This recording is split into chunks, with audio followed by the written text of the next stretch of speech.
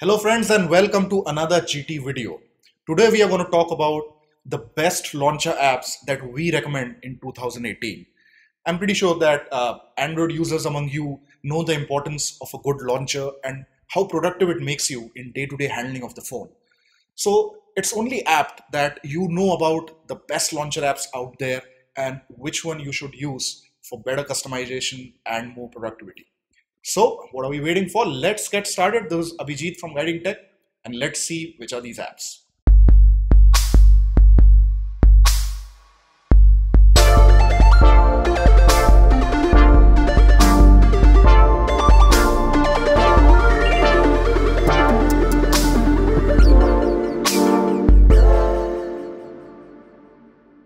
Let's start with the Action Launcher app.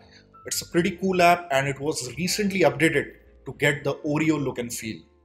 It has a lot of customization features. One particular feature that we find interesting is the folder cover. Now you can set a primary app as the folder cover icon which can be launched directly and all the related apps can be clubbed under it and even they can be launched by a simple swipe gesture. The launcher supports some animated widgets like clock and even the icon are live icons. Swiping to the right will give you a minimal draw and to the extreme left you can pin some widgets, uh, something like the sidebar we had in Windows 7. All in all, a really interesting launcher that's definitely worth a shot. Next up is the AIO launcher. Now I have to say that this is one of its kind. It is not your ordinary launcher with you know all those cool animation effects and variety of themes.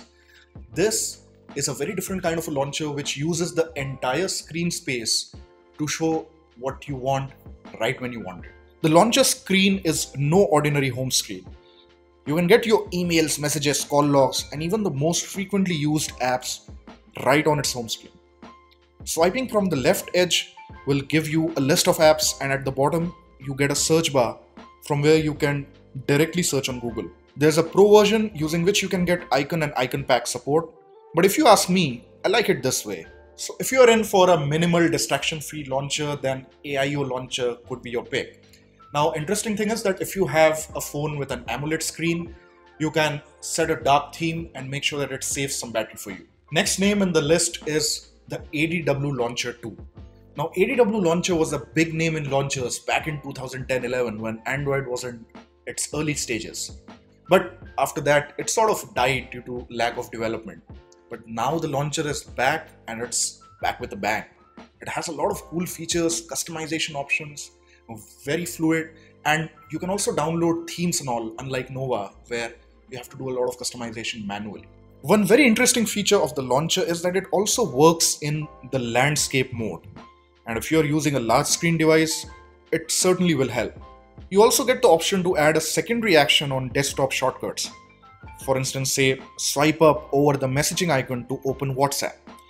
The good thing is that this feature in this launcher is free. You might find this in other popular launchers as well, but they are most likely to be a paid feature in them. So, all in all, a good launcher, if all these features don't convince you, maybe nostalgia will. So, uh, do give it a shot and tell us how you like it. Next up is the EverythingMe launcher.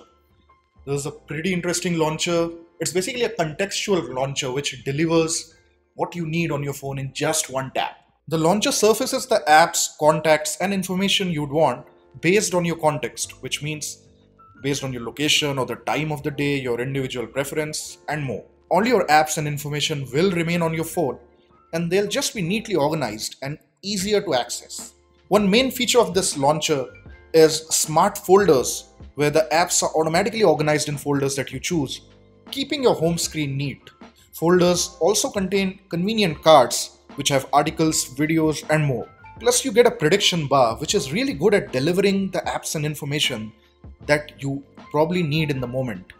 For instance, a news app in the morning or a call you missed from a friend. It makes sure that you do not miss any urgent information. So basically, the EverythingMe launcher learns from your usage of the phone. The more you use it, the better it gets predicting stuff. So give it a shot. Next in the list is the Microsoft launcher. Now, I would really recommend that you enroll in its beta version if you haven't yet, because that's where its best features are. It's almost like the Pixel launcher with some added features. One of its best features is the gesture support. Now using the gestures, you can double tap to lock your phone, swipe up for app drawer and more. If you're using Windows PC with the same account, there are some interesting photo syncing features to try. Another cool feature I like about the app is the option to cycle wallpaper automatically every 30 minutes. Overall, Microsoft Launcher has been a popular name in launchers for quite a while.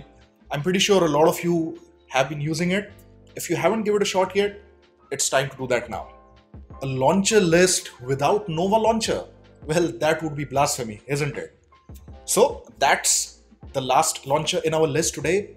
Nova Launcher, as probably all of you know, it's the most popular Android launcher out there. A lot of customization features, really lightweight, and whatever new features Google introduces in its Pixel launcher from time to time, you can actually get it in Nova Launcher's beta version as and when it's updated, uh, without even you know waiting for the official Android update.